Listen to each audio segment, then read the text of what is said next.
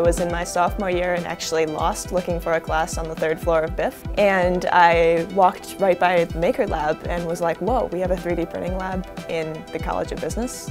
That's really cool. We're the world's first 3D printing lab in a business school. Our mission is to uh, help Illinois students and faculty and staff uh, engage with this technology, what we believe will be the next digital revolution.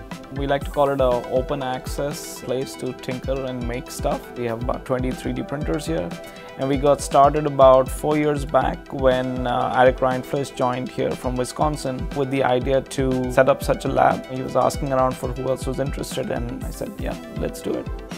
I think the most interesting thing is being able to see the manufacturing aspect of a business. In business, we're taught how to account for manufacturing, we're taught how to finance manufacturing, but we don't get to see it and we don't get to partake in the actual um, process.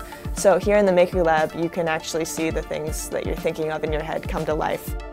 Some instructors bring students into the lab to have them understand what's possible and what's changing in not just manufacturing but in retailing, in supply chain, in even pricing and even now we are doing some research on consumer behavior. How does consumer behavior change when people get involved in the manufacturing process? And students are getting to learn bits and pieces of this ecosystem. Here at the Maker Lab, on average, we serve about a thousand students uh, every year. They come all across campus.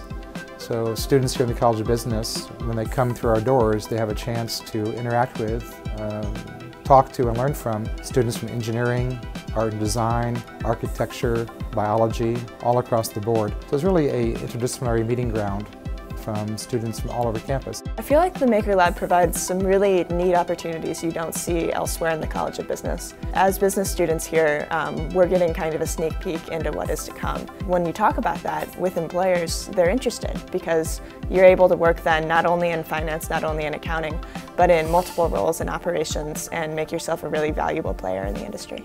So I'd like to welcome you to the University of Illinois, to the College of Business, to the Illinois Maker Lab, and to the future.